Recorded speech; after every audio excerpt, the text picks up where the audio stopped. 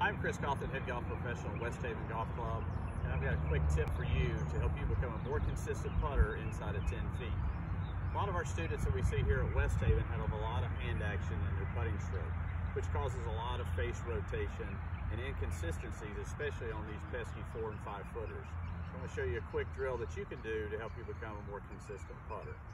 So the first thing we're going to do is I've got some stations set up here and we're going to start out with a simple push drill. And what the push drill is, is I'm going to set up with the club in my right hand only.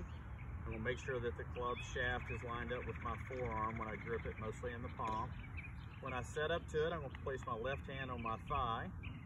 Once I get to my setup position, I'm simply just going to push the ball forward into the hole and hold my follow through. You'll notice that the grip and my forearm maintain the same spacing that they had at address. So if I do that again, it's gonna look something like this. Pushing it straight in the hole, and what I'm trying to do is follow through with my putter face all the way to the hole.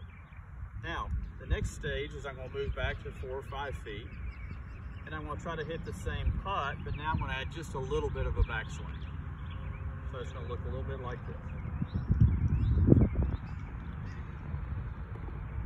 Now, if you're having problems still flipping the club and you still feel like the gap is closing, take another golf ball, place it between your forearm and the putter grip, just like this.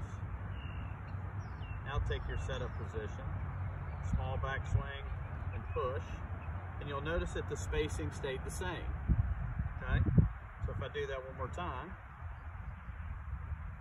set up, backswing and push, and notice the spacing stays the same.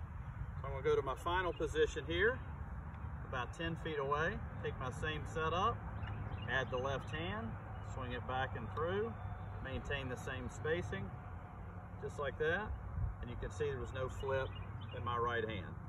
So use this quick drill to help you become a more consistent putter inside of 10 feet.